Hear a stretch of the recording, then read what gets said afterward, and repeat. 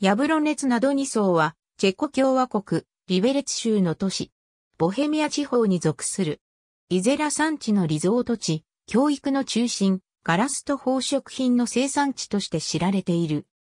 ナドニ層は内セガーカ藩のを意味する。ヤブロネツの村は14世紀にできた。初めて公文書に名前が記録されたのは1356年である。ヤブロネツとはリンゴの木のある土地という意味であった。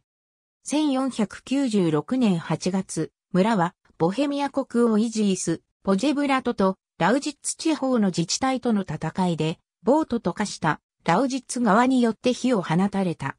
18世紀、最初の人工宝石が作られ、最初の輸出者 J 回収版の名はヨーロッパ中に広まった。ガブロンツの村は1808年4月21日に神聖ローマ皇帝フランツ2世によって軍区に昇格され、1866年3月28日には、オーストリア皇帝、フランツ・ヨーゼフ一世によって町とされた。西安に教会と町並み19世紀、町は繁栄し富を得た。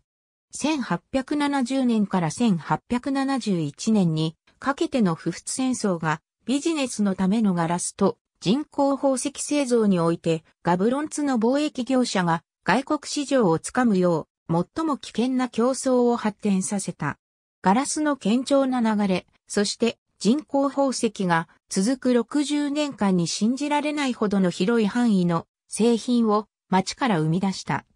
繁栄と富は人口の増加とともに協力して歩んだ。しかしヤブロ熱の状況は劇的に変化した。ガラスと宝石産業の深刻な衰退が1929年のブラックフライデーと1930年代の経済危機でもたらされた。1938年10月、ドイツ人住民が多数派を占めるズデーテンラントと呼ばれる地方にあったガブロンツはミュンヘン会談後にヒトラーのナチスドイツに奪われた。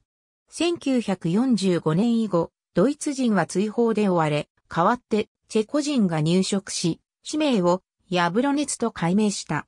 ガブロンツから追われたドイツ人たちは、1945年以後、バイエルン州のカウフボイレン近郊にあるノイガブロンツ、オーバーエスターライヒ州のエンスの軍区を作った。ヤブロネツは観光とスポーツの中心であり、サッカークラブの FK バウミとヤブロネツが本拠地を置いている。市内には水泳用プール、3カ所のサッカーと陸上競技、スタジアム、アイスホッケー用、アリーナ、13カ所のジム、16の運動場がある。1900年代、1920年代、1930年代からある現代建築がよく知られている。ヤブロネツダニダムはヨーロッパで最北にある都市に含まれた谷のダムである。ヤブロネツにはトラム路線があり、近郊のリベレツとつながっている。ありがとうございます。